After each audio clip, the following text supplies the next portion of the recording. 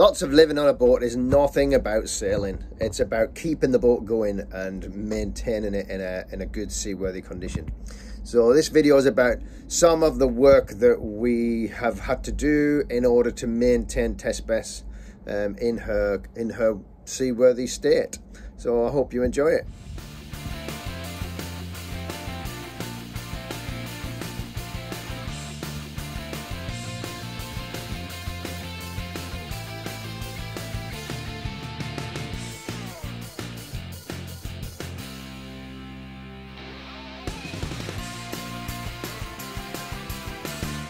With the saddle. So you think this one here at the start.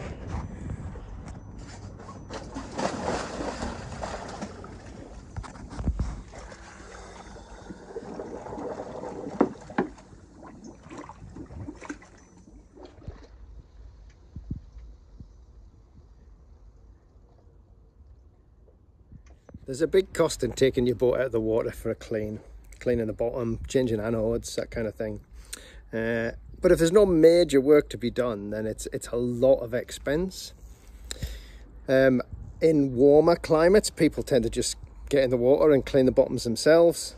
Um, it's not so simple in Shetland, but there is a guy now who comes and he has a a, a special power tool uh, that has a kind of like a force that kind of pushes it onto the bottom of the boat um, and a revolving brush that cleans it.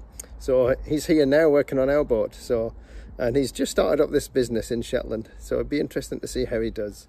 But uh, it's a nice, nice little job he's got.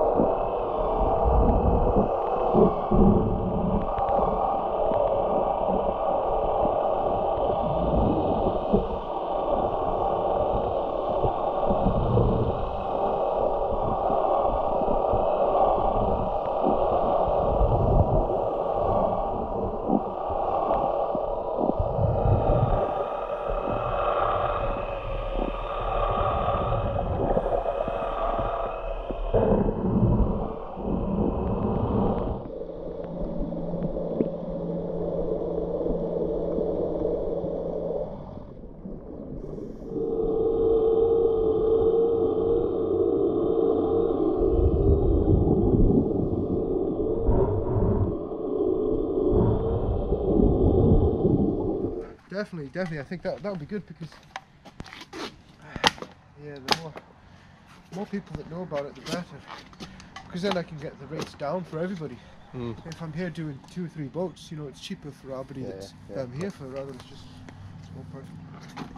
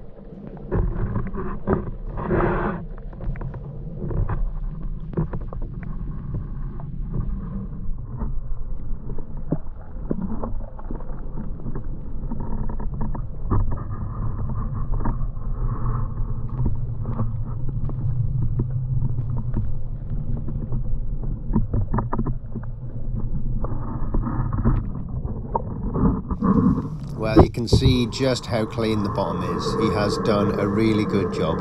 Uh, very impressive machine. Uh, he also changed the anodes for me while he was here, uh, so that's another job done. And uh, a lot, a lot, lot cheaper than lifting her out.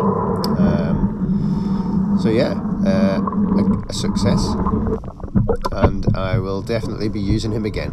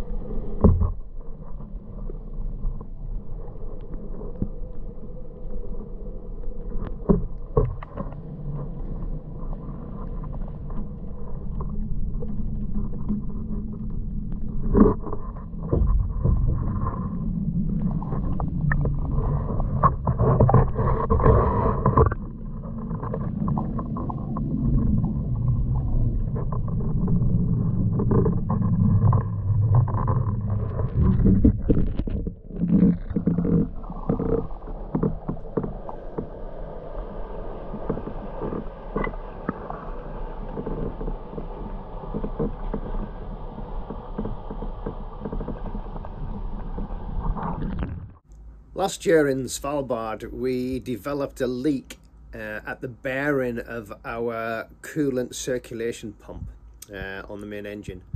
Um, Svalbard is not a place that I wanted to start stripping water pumps out, so we looked for a, a solution to get us back to um, Norway, um, where we could decide uh, if we were going to take that any further. Um, so the solution that we came up with was to depressurize the system. Uh, and the way we did that was in the in the filler cap we put some a little loop of string through this valve so this is a small valve in the middle of our filler cap um, that allows negative pressure allows air to get into the tank when it cools but then it pressurizes to stop um, that pressure coming out as the as the uh, the coolant heats up. So what we did was we just put a little bit of string through that valve, which kept that valve open, uh, and it meant that the filler still went on and stopped spill spillage, but it didn't pressurize the system, which meant that it didn't force water out through the through the bearing. And this is the new pump. It wasn't blue when it arrived. It was just uh, bare metal, but we've primed it and we've given it a coat of paint so it uh, matches the color of the engine or close to it and also should stop it getting uh, getting rusty too quickly. Uh, the bearing in here uh, is where we were getting leak from the one that's on the engine. I think this one has got a slightly different design and it has a little telltale hole here. So if this one does start to leak, um, this is where we should see the, the water coming out. And looking down into the engine space, so that's the pulley and our, our water pump is behind that pulley. So quite a bit of the stuff at the front of the engine comes away um, to give us access to that. So that's what we're going to be doing today, fitting this new water pump.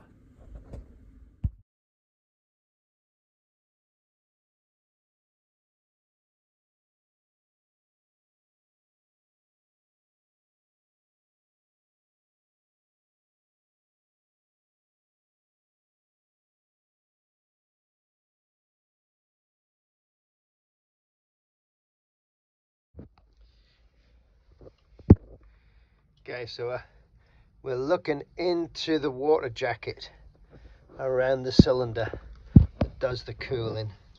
Worth having a little look while we've got this access.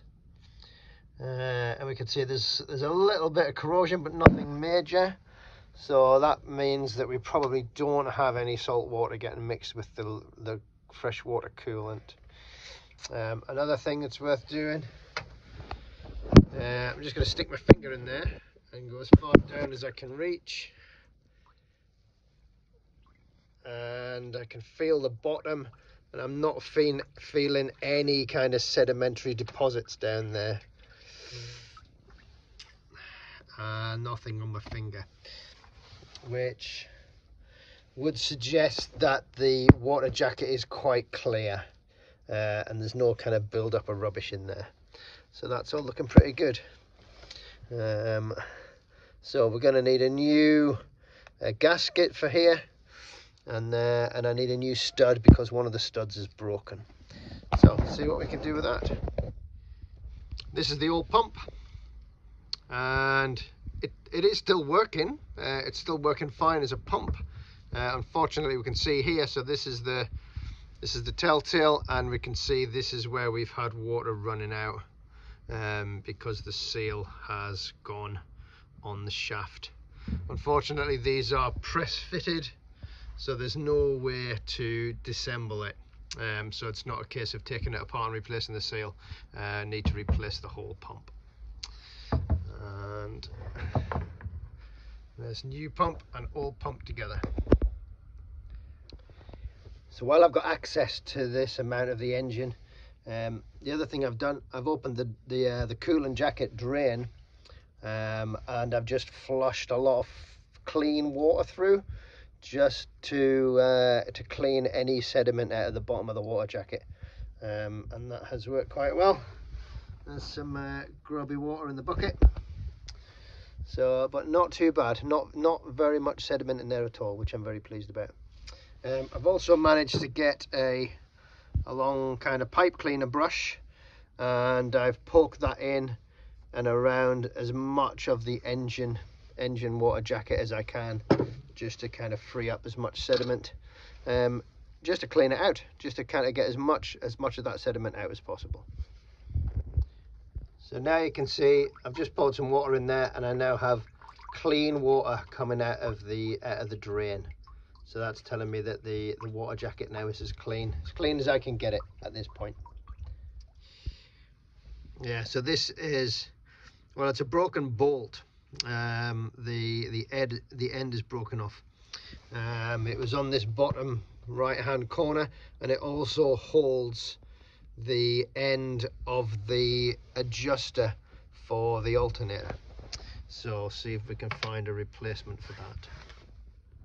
One of the issues uh, having an old Ford engine is the threads on all of the engine bolts are all imperial. So they're either british standard fine or british standard whitworth. Um, not so easy to get you though. can see here the broken bolt. So this is what i need to replace. Um, and this is what it should be looking like. But uh, because it's whitworth um, i don't have any uh, so the boat did come with a box full of Whitworth piece bits and pieces here. Um, but the only one we have is is quite a bit smaller uh, and it won't it won't actually fit. So I'm going to have to go into town and see if I can track down a Whitworth bolt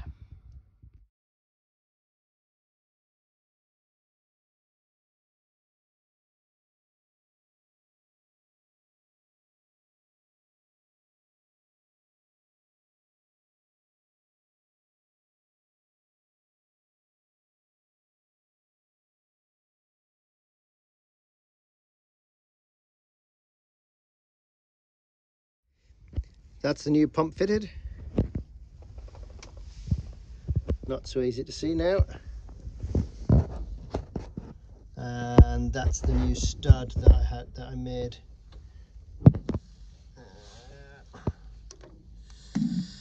So I cut a slot in the end of it so I could screw it in with a screwdriver and then put a knot on it. Um, so that's that's now in place. So that should be it. All done.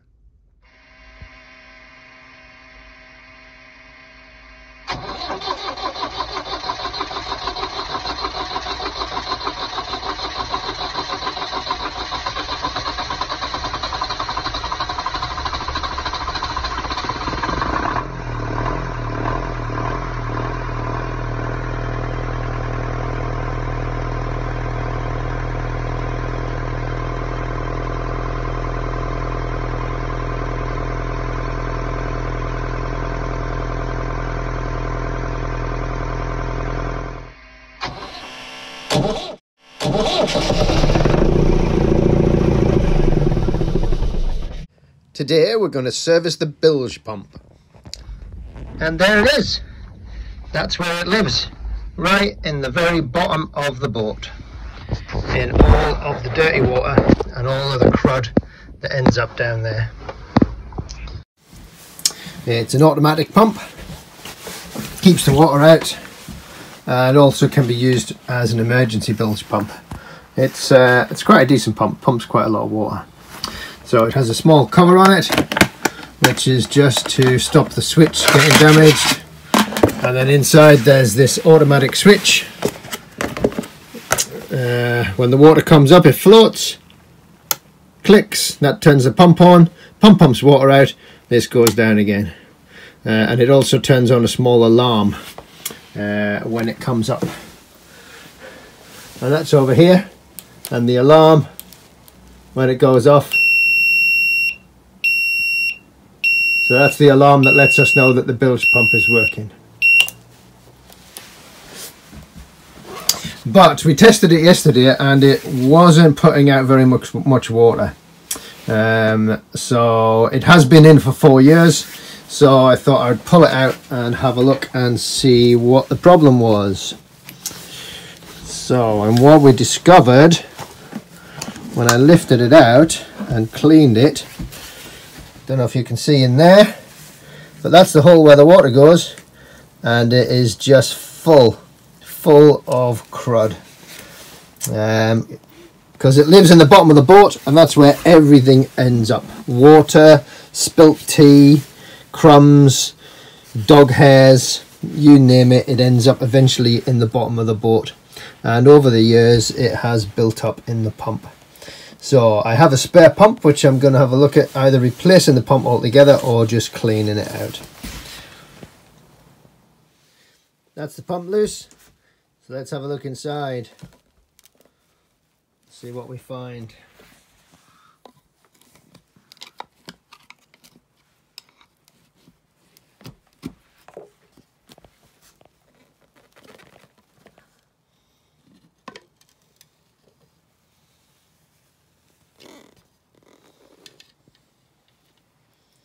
Ah, not so bad really.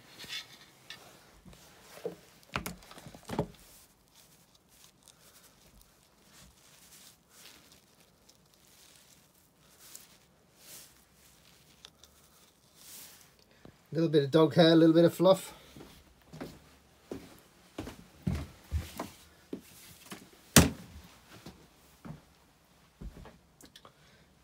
Other than that, it's pretty clean. Although it is clean, the bearing doesn't feel so good. I can feel it rumbling a little bit. So as I've got a spare pump, I'm just going to swap the pump over. And new pump fitted. So just going to put it back together and get it installed. That's it finished and ready to go back in. And just to protect every, me from it and from falling down there, we have this grate that goes over and that's it covered. So that is the bilge in Tess Bess. I hope you enjoyed that journey into Tess Bess's more intimate parts. Um, thank you for watching and if you'd like to see some more there'll definitely be more to come.